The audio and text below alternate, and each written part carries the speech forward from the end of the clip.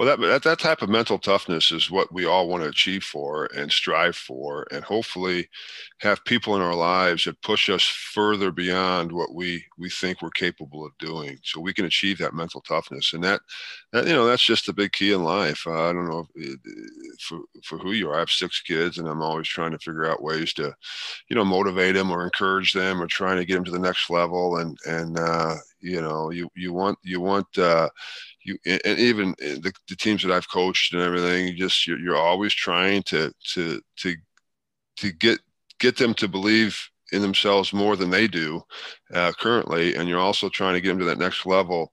And you know, you can always do more. Your mind is going to, you know, your body can always do more than what you think you can